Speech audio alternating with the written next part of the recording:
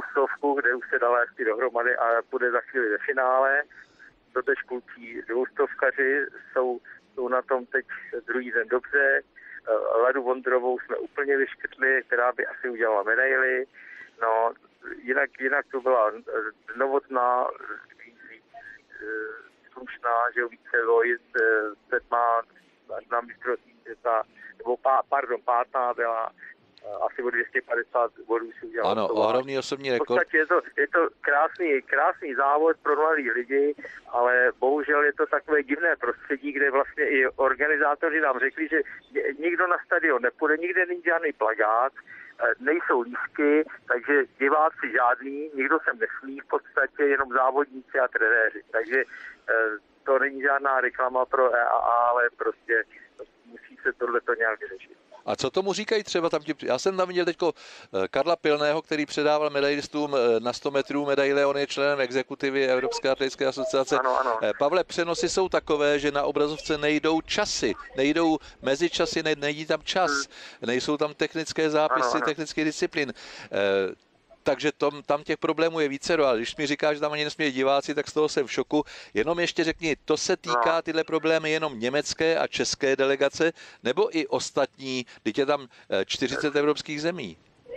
No tak ostatní bydleli jakoby v tom olympijském areálu, který byl od loňského EOFu, kde zase to, oni to prodali, to byl areál jako na eh, olympiádu mládeže, eh, prodali to vlastně eh, soukromníkům a teď si mysleli, že že zase jim to na, tyhle, na tyhle tři dny ty byty svoje propůjčejí, což teda jim nevyšlo, takže s ubytováním a s tou hygienou a s tím lepším zařízením byly obrovský problémy. No, já si myslím, že to bylo nedořešeno, chtěli pomoct takovéto zemi, aby se dělala akce na této úrovni, ale v podstatě to nezvládají, když tady jsou všichni poradci eh, na, na režii a nevím na to všechno, ale přesně tak říkáš, eh, technické problémy jsou tady veliký a nemají prostě zkušenosti jako naši organizátoři nebo Němci nebo někde v Evropě. No. Takže takže to prostě hapruje trošku. No. Pavle, moc děkuji za informace. Ty jedeš za týden do Bydhoště, tam to určitě bude na mistrovství no. světa juniorů výrazně lepší. Jedeš tam, tam eh, zase s Partou. Doufám, že se polepšíme. No. Takže to bude. zdravím všechny diváky. A, my vám držíme a palec. Doufám, že se vrátíme, protože ani nevíme, jak poletíme zpátky, jelikož se zase zase sílí tamhle na, na letištích, takže nevíme, eh, řešíme teď vůbec, jak se vrátíme zpátky. No. Moc tak držíme palce. palce. Moc držíme no. palce a děkujeme no. za informace, aspoň děkujeme. jsme moc řešit. Děkujeme. Díky. Pavel Beran z Tbilisi, díky moc. Tak a tady je 110 překážkářů, Clarkin Irsko, Bengtson Švédsko, Akany Velká Británie, Severní Irsko, Braz Belgie, Dipanfilo Itálie, Ezeš Maďarsko, Inglin Švýcarsko a Nicholson Velká Británie a Severní Jirsko.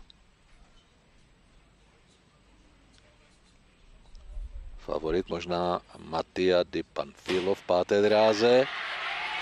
Všecko v pořádku. A Ital v páté dráze jde na první pozici. Ty plutky jsou pochopitelně nižší, ale teď se tam tlačí Maďar. A maďarský reprezentant Daniel Eze vítězí, stává se dorosteneckým mistrem Evropy. 13.38 jsem tam teď zahlédl skoro zázračně na té tabuli. Tam vzadu to vidíte. 13.38 pro Daniela Ezéše. Maďarsko má zlatou medailí zásluhou tohoto borce.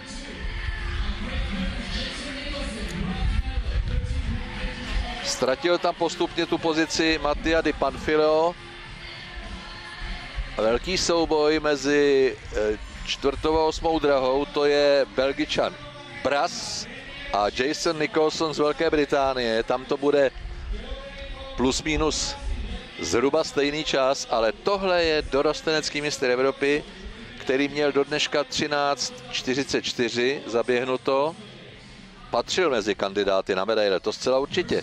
Di Panfilo měl 13.43, Bras 13.46, Nicholson 13.50, ale teď to dopadlo tak, že maďarský reprezentant Daniel Ezeš především tím koncem, tak nakonec 13.39, Bras 13.42 druhé místo pro Belgičana a Nicholson 13.45 třetí místo pro tohoto borce.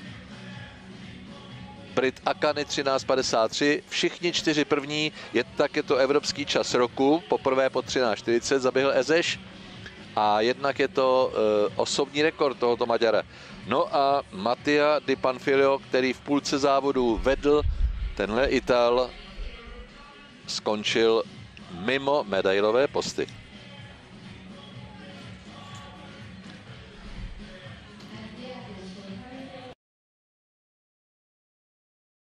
Medaile